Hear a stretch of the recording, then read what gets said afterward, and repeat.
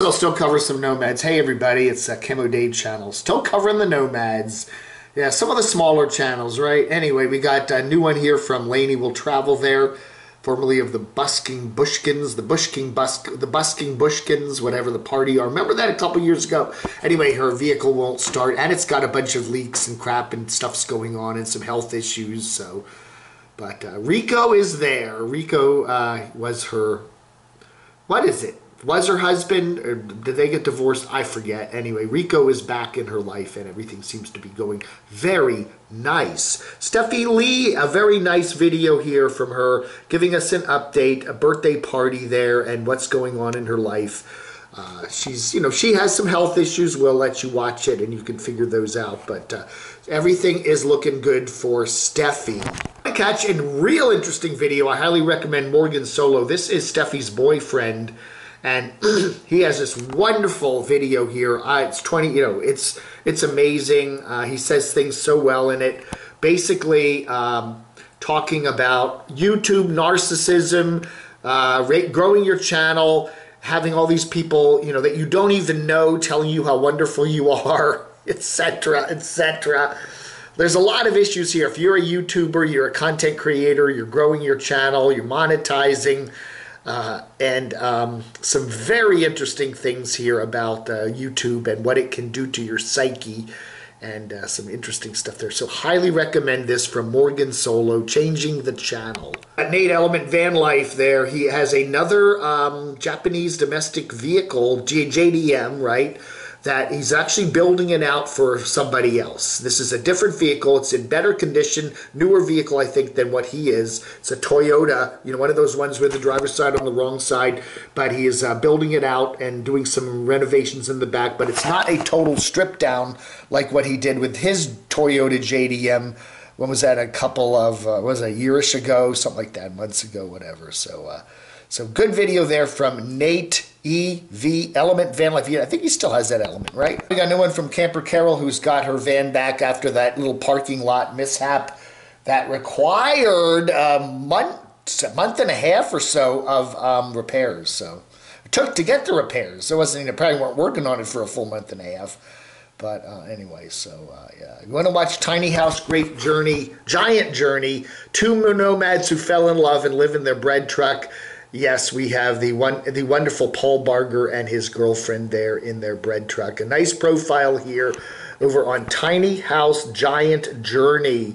Again, we've got a new one from Snow and Kurt here. They are busy in um, uh, Colombia. Colombia there, Colombia. They finally got, they, they, they were waiting on a ship that was coming from Galveston, Texas, down to Panama to transport their van over to uh, Cartagena, Colombia, there on the Caribbean coast there of um, Colombia. And finally, the ship is on its way now after some repairs. So they decided to hightail it in a big jet over to Cartagena, and they're exploring uh, that town in South America. And it's a really cool video. Go check it out. As they wait for, as they and their two kitties are waiting for their van to get uh, shipped over, which should be a another couple of weeks, I would think. Good one here from uh, Campulance man David there. He uh, is parking, uh, he's parked there, I, where is that, Arizona? And he's uh, got, or Colorado, I forget exactly. I, you know, it doesn't matter where he is. He's out west somewhere. And he's, and he, and gets this guy that's parked in the next campsite over, and the guy has a fire, uh, you know, you know, a fire, you know, like, you know, the fire ring there, whatever. You're not supposed to have fires. It's very dry.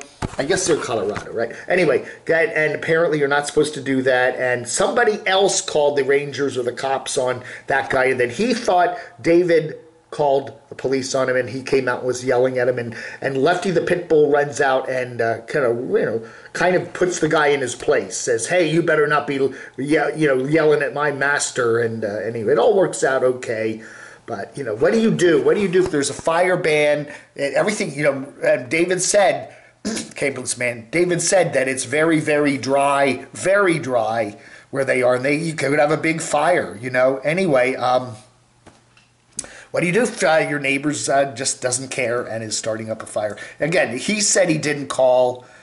He, uh, he, he, you know, but somebody else did, but somebody thought he did. So anyway.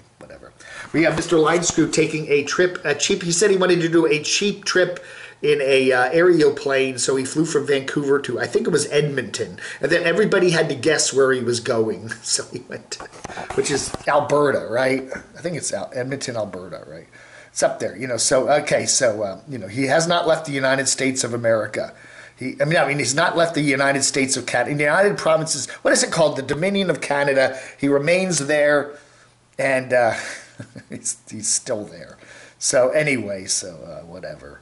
Uh, so yeah, nothing on. What else? What else have I been watching? Huh? A number of people who are heading down to uh, Abilene, Texas this week for the Lollapalooza Festival, which begins on the 21st of October. And uh, don't forget the Camo Dave Papa Texas Breakfast on the October 23rd there. Beautiful Abilene, Texas. Yes. Uh, the Nomad we don't talk about has been down at Disney lately. And of course, we reported yesterday that Jax the cat has passed away at 11 years old. R.I.P. Jax. All our deep condolences to um, you know who.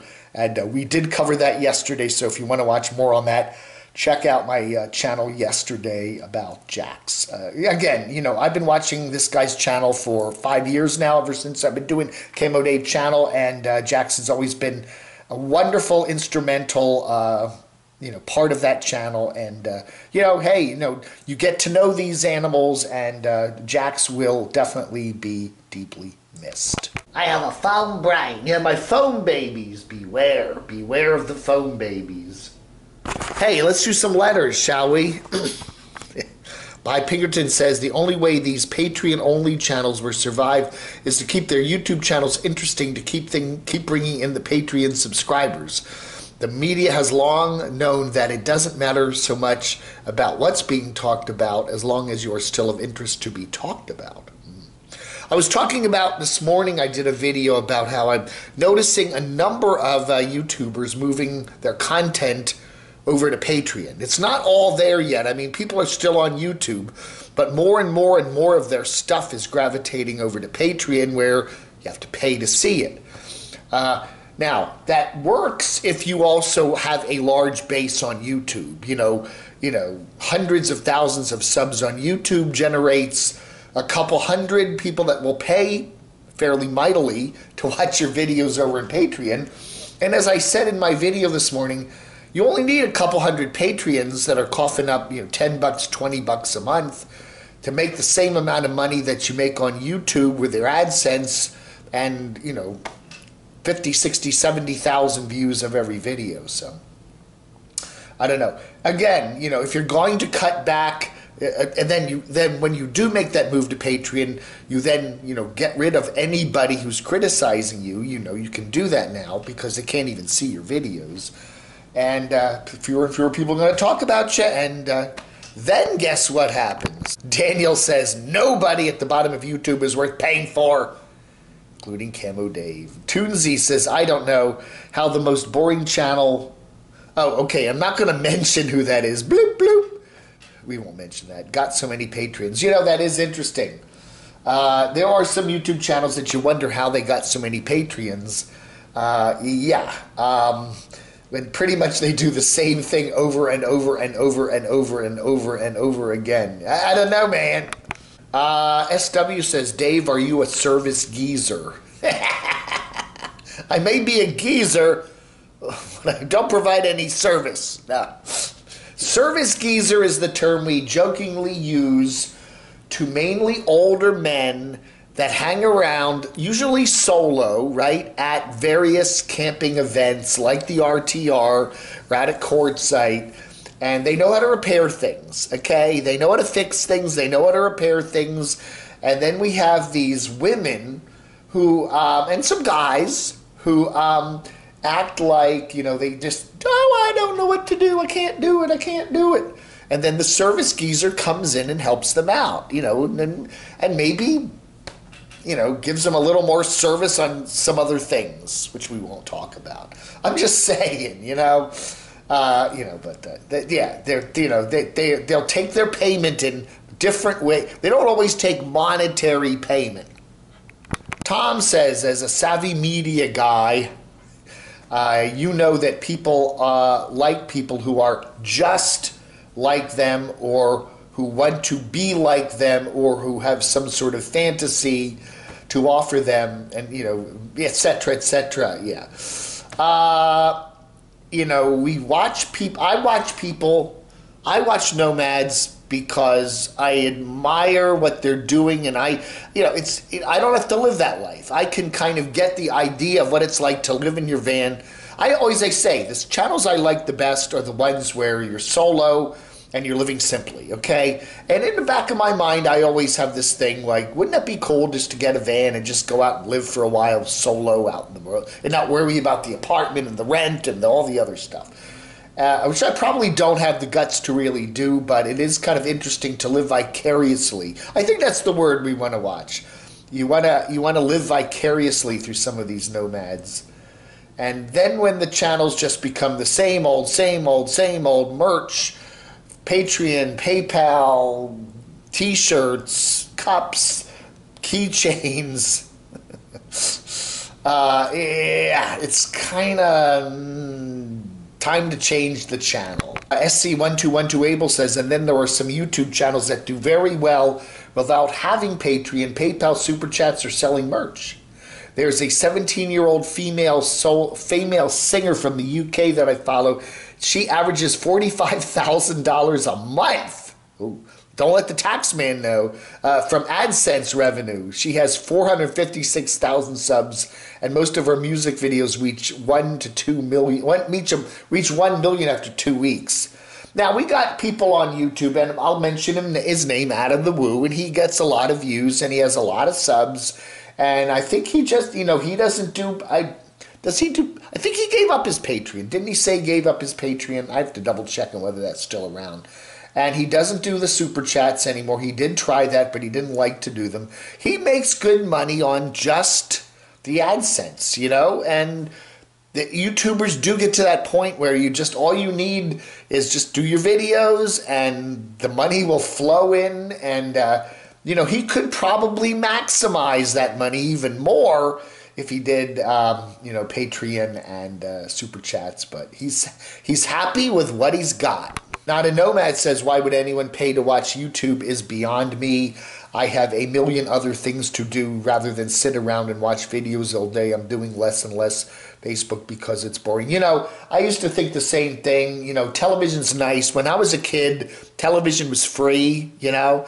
I mean, really, you put up an antenna, you bought a television, and you could watch anything you wanted, and there was no other charges. That was it. You know, and I always thought, why would anybody want to pay for television? You know, and then a couple years later, here comes cable, and everyone's okay. You get some more channels, you know, but you know, it's kind of like uh, now we're paying money to watch this stuff, and then even more money for all these premium channels, and then even more money for all these sports and tiered channels, and and, and and then it's kind of like we've come full circle. It's the same crap, you know, that we got on three or four channels back in the '60s. Now it's on 140 or 240 channels. It's just more of it, and now we're paying, you know, some people's cable bills, many hundreds of dollars a month.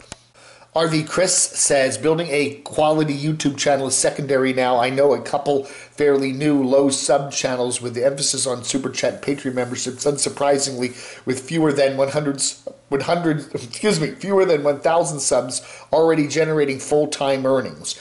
Yeah, you know you can do that. People have done that with few subs on YouTube, relatively, and they're really pumping the Patreon. That's true.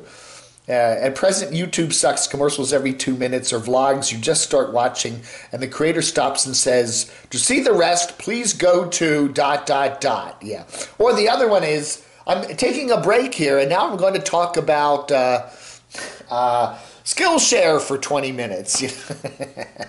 but, says Chris, we still have Camo Dave, who I enjoy. Thank you. And of course, Line Screw, since I've watched him since the beginning, got to be seven to eight years now, fellow Canadian. Line Screw's been around on YouTube for seven to eight years. You know, that's interesting. I started on YouTube in 2011, but I was only doing like little uh, videos for my DCR TV media channel. Uh, you know, but I've been on YouTube now, yeah, um, uh, 10 years. 10, I think I had my 10th anniversary earlier this year. I did 10 push ups last night. Beantown says, not sure what happened on Dave's live stream last night. Quite a few people said he got rushed to the ER right after doing three push ups. Hope he's okay. Definitely seems a bit off in this video. I did 10 push ups. Thank you. And finally, Rick G says, uh, not everybody likes the dramatic Nomad channels. In fact, I much prefer the relative drama of the free offerings of Slim Potatohead, Venture Van Man, Brian, Venture Van Man, Kate Cloud. Hey, we haven't heard much from Kate lately. How's the goat? Uh, Catherine Gregory, SUVRV, Tristan, etc., etc. And of course, Venture 4 Wheel Drive, Venture 4 WD there, Chris, over the crazy e begging crybabies. I'm sure I'm not alone in my preferences. Again, I really sometimes I just like to sit down and watch a good half hour of Slim Potatohead and just enjoy it. You know, no drama and some uh, some good stuff there. I'm, I'm I'm really looking forward to Slim tackling that cabin he bought. I really would like to see that. Uh, yeah, I'd like to see Kate Cloud do some more of her hiking. That's what I would like to see. Uh, and uh, Tristan RVing, yeah, always good stuff from him uh, camping out simply. Always good stuff there in the West from him. And of course, Adventure Van Man Brian, who we see very, he's not posting as much as he should be, I think, these days. We'd like to see more from him, but he's got other things cooking, you know, his relationship with his girlfriend, ETC. Alrighty, everybody, that ought to do it. Thank you so much for watching. You have a wonderful rest of your Sunday, 17th of October. Have a wonderful rest of your weekend, folks. It's almost over. Vlog under.